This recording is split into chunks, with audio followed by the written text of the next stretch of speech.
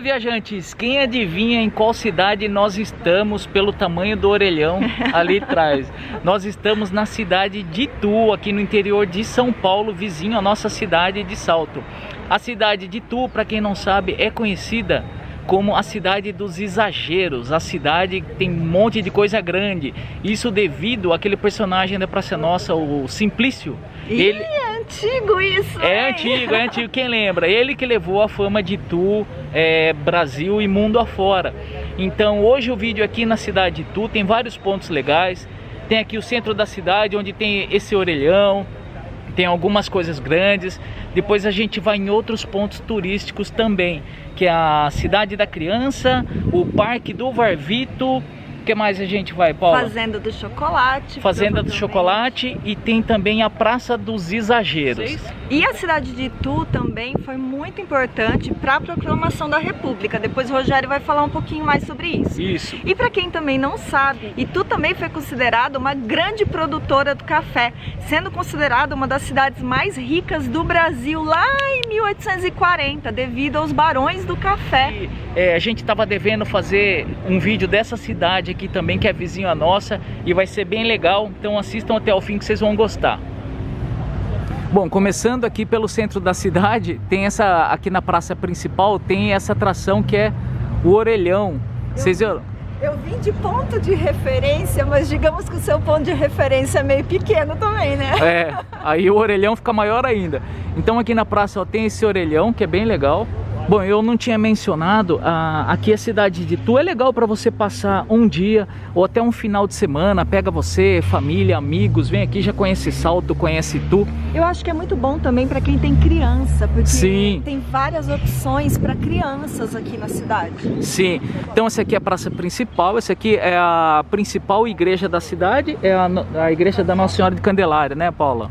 É, aqui foi construída a primeira capelinha antes de Tu ser cidade. Quando os bandeirantes vieram para cá, eles construíram uma capelinha, né? Hum? E aí em volta foi crescendo a cidade. E hoje no lugar dessa capelinha tem a igreja. Bom, então quando vocês vierem aqui para a cidade de Itu, a nossa sugestão é que vocês venham aqui na, na nessa praça, né? É, comecem o passeio por aqui, já olha aqui o orelhão, já olha ali o, o semáforo gigante, a igreja da Candelária, que é a principal.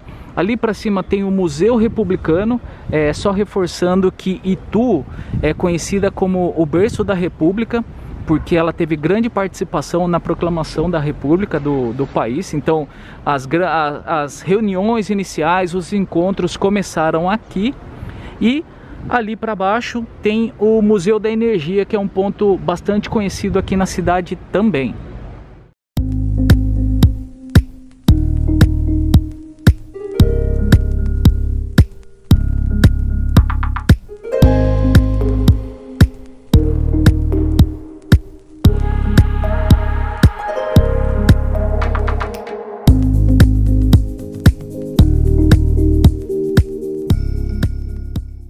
Olha, desse ângulo dá para ver melhor o tamanho do semáforo de Tu. Não dá para falar que passou no vermelho porque não viu. É, exatamente. Essa é uma, uma atração bem legal aqui. Eu lembro quando eu vim a primeira vez para Itu, olhei esse semáforo e o orelhão ali é bem legal, viu? Bom, a gente acabou de sair da praça, né, e demos uma breve entrada na igreja. E aí, como eu falei para vocês, esse daqui é o Museu da República. Ele tem um estilo português, inclusive ele tem os azulejos portugueses Exa por fora. Exatamente. A gente deu uma olhada no site. É, nesse momento do vídeo que a gente está gravando, tá fechado. Olha lá, tem até a plaquinha Museu Republicano Convenção de Itu. Então nesse momento está fechado para visita, mas quando vocês vierem e estiver aberto, aqui com certeza vai ser um show de história sobre a Itu, a República do Brasil. É um museu muito legal de se visitar. E aqui em Itu também tem várias lojas de coisas grandes. Como vocês podem ver a loja ali, ó, tem um baralho bem grande, né? Tem uma mesona e a gente vai mostrar para vocês agora é, eu lembro dessa loja quando eu vim a primeira vez aqui para Itu, a Exótica. Como vocês podem ver ali, ó, já tem um orelhão, um telefone bem grande e uma cadeirona. Ó, a Paula novamente como referência para vocês terem uma ideia do tamanho do orelhão. e da cadeira aqui. Olha, a gente vai mostrar um pouquinho dessa loja que legal, olha, uns cotonetes, uns fósforos, olha o tamanho do cigarro, olha o tamanho do pente, para vocês terem uma ideia. Vou mostrar aqui, tá? O tamanho das coisas, ó. Então quando vocês vierem aqui para Itu, essa é uma loja legal de comprar as lembranças. Olha, o tamanho da faquinha de Itu. Viu? Hum. Eu preciso fazer uma piadinha ridícula. Hum. Aqui em Itu você não leva lembrancinha, você leva lembranção. Exatamente. Ah. Ah. É, vai levar um... Agora você põe a musiquinha, né? Na mesma praça. É, vai levar uma lembrançona. E olha, tem muita coisa, tudo grande, né? Ó, tamanho da borracha, tamanho do lápis. Olha aqui, ó. Esses lápis. Ó, pra vocês terem uma ideia, ó. Um, dois, três, quatro palmos. Bem grande. Tem várias lembranças, olha. Mais faquinha aqui. Nossa, olha aqui o tamanho da privada, gente. Que legal. Vou até ficar do lado ali para vocês terem uma ideia. Ó. Criança senta aqui, tá escrito. Nossa. Bom, e saindo da Praça do Orelhão aqui, pessoal, é, a gente foi ali no, no Museu da República, né? A gente desceu aqui e aqui é o Museu da Energia é, é, um outro ponto muito visitado, é muito bonito, né? Infelizmente está fechado hoje, mas vocês podem olhar por fora os azulejos. E essa região aqui é bem histórica, então com umas ruazinhas é, bem tradicionais da época, né? Vocês podem ver aqui esse prédio, o tamanho das janelas, a decoração, o estilo, né? Aqui por fora, ele é bem do, do período. E nessa região tem bastante antiquário também. Isso, também, gosta. também. Então, aqui no centro da cidade é isso, é a praça ali, é o Museu Republicano ali para cima e o museu, ó, tem um antiquário ali que a Paula falou, e o Museu da Energia aqui. E descendo mais um pouquinho ali, passando o Museu da Energia, mostrar para vocês um dos principais restaurantes da cidade, se não for o principal, que, é o, que principal. é o Bar do Alemão. Eu já estou filmando aqui porque tem um mais um antiquário que é bem bonito do lado de fora. Mas aqui ó, o bar do alemão. Então quando vocês vierem para cá, nossa sugestão, tá? A gente já veio aqui algumas vezes. É bem legal. E a especialidade da casa aqui, o mais conhecido principal é a parmejana. Então fica Agora... aí a dica de mais esse restaurante Bar do Alemão. Bom, chegamos a mais um ponto turístico aqui de Tu, a Praça dos Exageros. Aqui só pelo tamanho dos letreiros, vocês já podem ver que é bem exagerado aqui, né? Então quem vier aqui para Itu, quiser ver coisa grande, é aqui nessa Praça dos Exageros que se concentra as coisas. Vocês podem ver ali, ó, uma garrafona, um bradescão, e ali para dentro tem muito mais coisa, a gente vai mostrar para vocês. Bom, já na entrada aqui, ó, um interfone gigante. Tem até a plaquinha aqui, ó.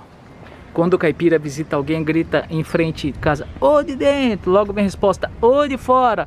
Isso deve ser as frases do Simplício ali. Quem lembra do Simplício? Eu, eu acho que ele tinha um bordão. Ele falava assim, o homem, o homem. Eu acho que era isso. Então, ó, já de cara aqui tem um, um tomate gigante um Bradescão. Gente, deve sair muito dinheiro ali, né? Deve sair dinheirão. É. O Simplício, que é a figura que, de Tu, que levou o nome de Tu para o Brasil e para o mundo. Aqui, ó, lata de tinta.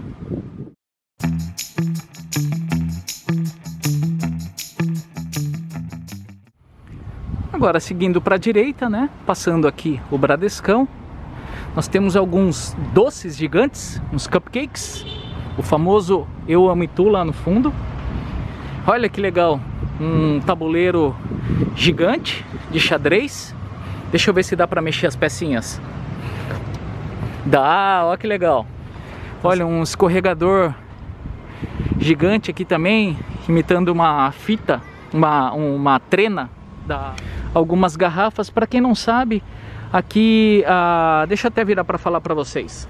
Para quem não sabe, Itu é a terra da famosa skin cariol. Quem lembra skin cariol?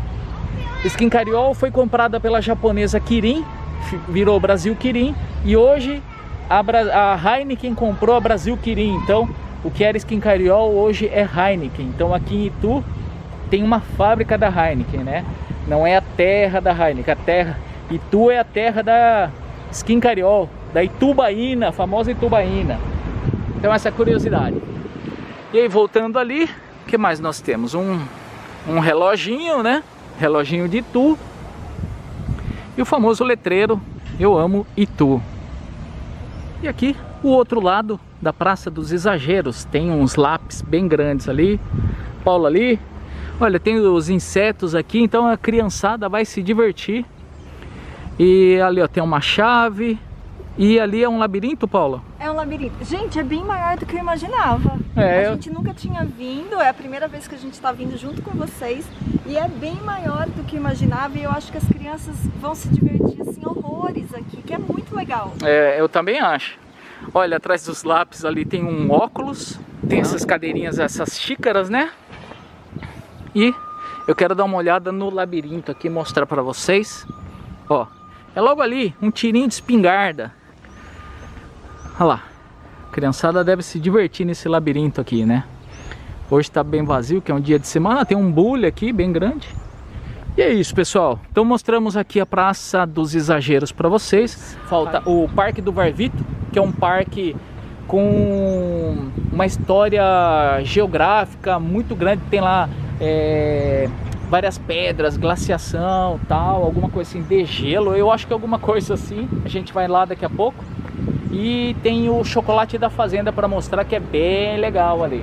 Então é isso. Então falta ainda esse parque do Varvito o chocolate da fazenda e então vamos para o próximo ponto agora. Aí, chegamos no nosso próximo destino que nós vamos mostrar para vocês. E a palavra que eu não lembrava tá escrito ali, ó, Parque Geológico do Varvito. Então, ó, tem estacionamento aqui, que é recepção, e já dá para ver lá dentro, que é bem grande. Vocês, ó, ali tem uma placa o que é o Varvito. Eu já vou ali explicar certinho para vocês.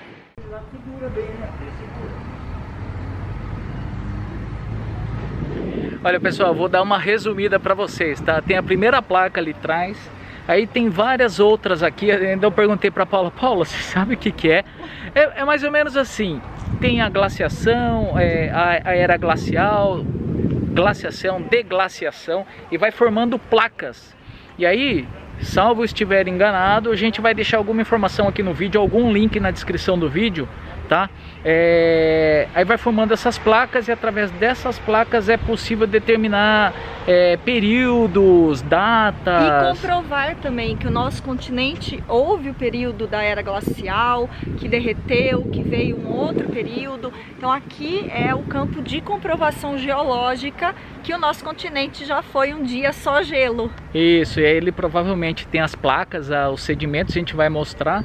É... Olha, a gente chegou no primeira, na primeira parte aqui, né, em contato com as placas. E vocês podem ver que legal, né? Aqui tem as placas certinho, parece até feito artificialmente. Cada mas... uma dessas placas era o chão de uma época, é. de uma era. Então aqui era o chão de uma era, aqui era o chão de outro chão. Então, olha quantos anos nós temos é. de história aqui na nossa frente. Bom, e aí vai ter que pesquisar, né? Cada, cada plaquinha aqui, quando se é referente a um ano, ou uma quantidade de placas relacionada a uma era, né?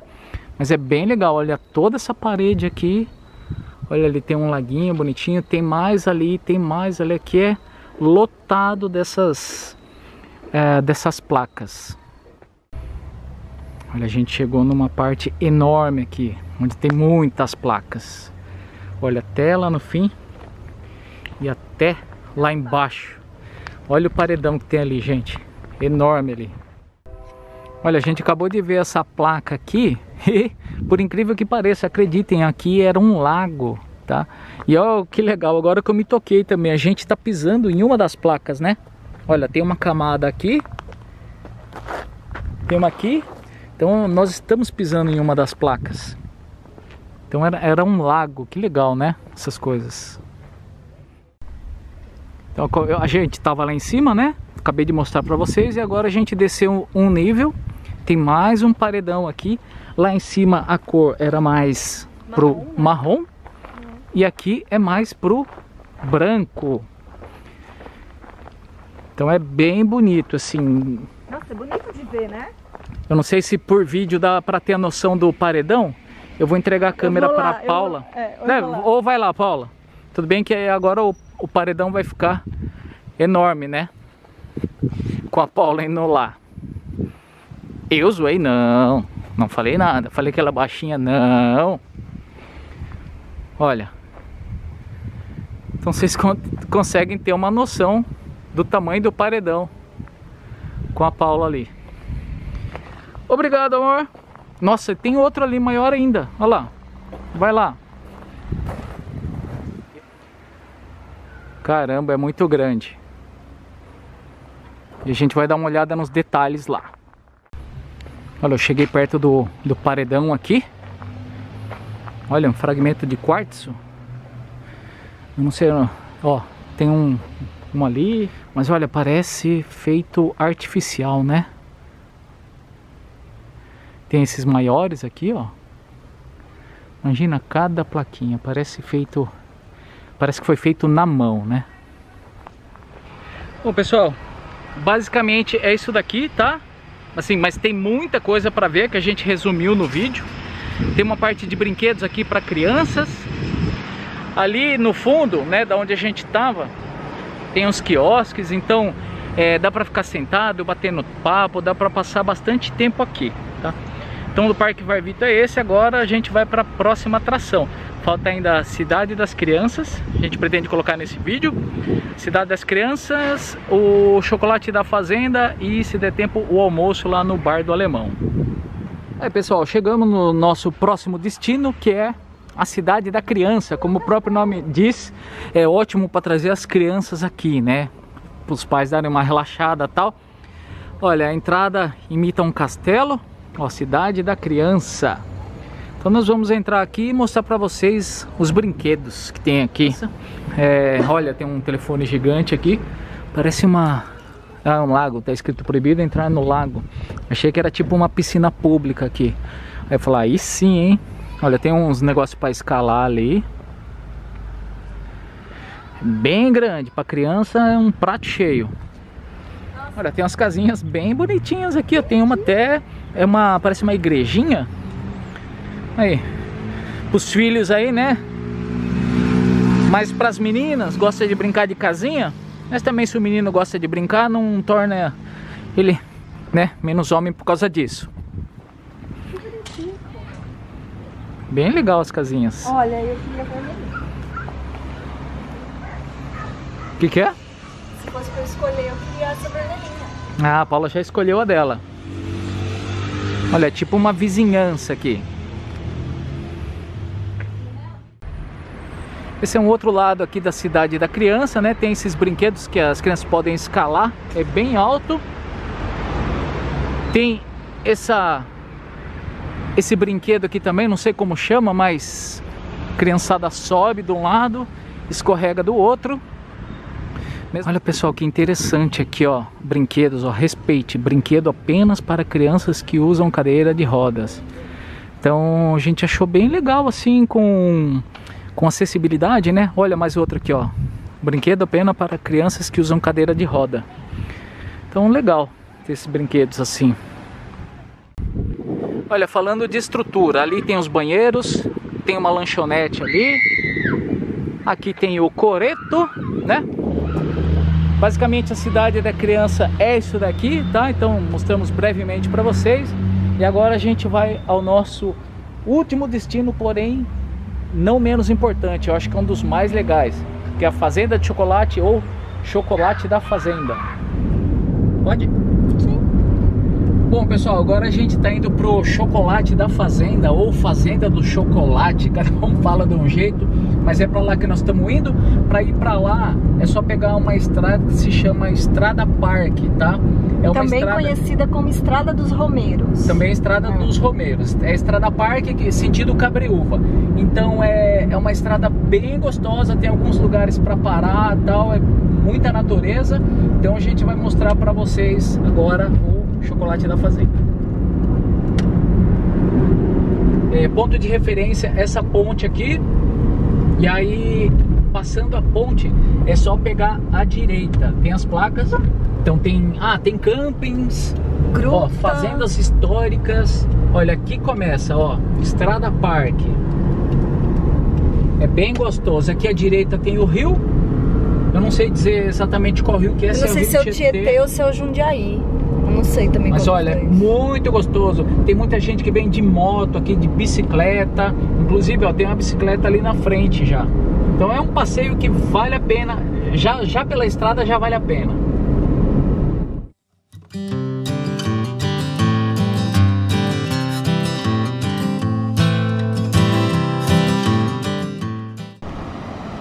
Olha pessoal, no caminho eu dei uma parada aqui, tá? É uma, uma pequena hidrelétrica, barreira aqui. Pena são essas espumas, mas para vocês verem como o caminho é bonito, tá? Quando não tem espuma é bem bonito, mesmo o rio sendo um pouco poluído, mas tem uma visão bem bonita, como vocês podem reparar aqui. Bom pessoal, chegamos aqui no Chocolate da Fazenda, ou Fazenda do Chocolate, não sei qual é o certo. É, mas como vocês podem ver, tá bem vazio, porque hoje é um dia de semana. E nós vamos mostrar os, as principais coisas que tem para fazer aqui para vocês. Como comer chocolate, provar licor... Tem até um mini zoológico. Suco, suco de milho, tem, tem muita coisa aqui. Então eu vou mostrar alguns trechos aqui nesse vídeo e provavelmente a gente vai fazer um vídeo específico só aqui do chocolate da fazenda, ou fazenda do chocolate. Tá bom? Então vamos lá. Mas ali é uma loja, se não me engano, ali tem licores. Olha, olha o tanto de adesivo de é, clube de motocicleta que tem aqui. Olha, então vamos lá. O que nós temos? Cocada cremosa, olha, cajuzinho, doce de, ó, doce de batata, doce de cidra, de abóbora, eu adoro esses biscoitão de polvilho, né? As compotas, cereja, framboesa, aqui os doces sortidos, igual ó, doce de batata, licores de tudo quanto é tipo, olha, jabuticaba, pimentas, ah, palmitos e picles, ah, aqui nós temos queijos, então aqui é onde você pode comprar aí as suas guloseimas para levar embora ou já comer aqui mesmo. Essa é só uma parte, a gente vai mostrar o restante aqui da fazenda para vocês. Para quem quiser, tem o café em grão, eles moem na hora. E tem a torre de chocolate aqui, né? A gente estava ali na adega onde tem os doces. Então a gente vai tomar um cafezinho aqui. E olha ali, gente, cafezinho no fogão a lenha. Meu Deus, delícia. Bom, mostrando aqui mais para vocês, né? A gente veio lá de baixo. Aí tem aqui, ó, é, outras coisas. Aqui, ó, chocolates e doces, loja. A gente sabe que tem passeio de cavalo aqui. Aqui acho que é o restaurante principal, né? Quando tem a refeição. Rancho da Serra. Então tem várias coisas aqui. Tudo bem? Olha, informação importante, hein? De final de semana tem café colonial aqui. Então é nesse momento que eu tô gravando o vídeo, R$ 42,90 por pessoa. Criança de 0 a 5 não paga e tem uma outra idade lá que paga meia, mas são mais de 60 pratos aqui. Então um cafezão colonial, uma boa, hein, pessoal. Aqui é a região do lago. Como vocês podem ver, vazio. Só a companhia, companhia aqui dos pavões dos patos. É legal que os bichos andam soltos assim, olha. E os patos já sabem que vem gente vai jogar comida. Ó, todos eles já vêm, ó. Olha o tamanho desses patos aqui. Olha, gente, até as carpas aqui, ó, fica esperando ração. Olha só como o bicho é esperto, olha. Eles estão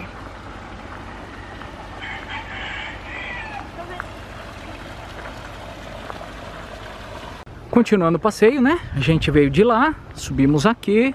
E agora estamos nesse outro andar. E olha quem está olhando ali. O musão. E esses bichinhos, eu sei que gosta de cuspir. Olha um ali, a cara de preocupado lá dentro, ó. Ah, que sono.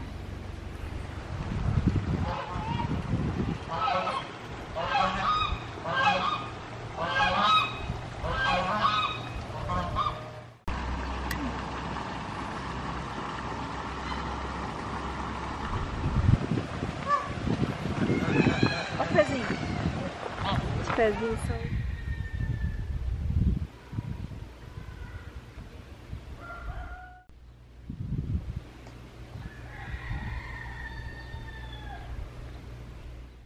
Bom pessoal, e é isso daí, a gente espera que vocês tenham gostado desse vídeo da gente mostrando os pontos turísticos de Itu. Se você gostou desse vídeo, deixa o seu like pra gente. Não esquece de se inscrever no canal, que é para ajudar a gente a crescer. E vem, vem viajar, viajar, com a gente. gente.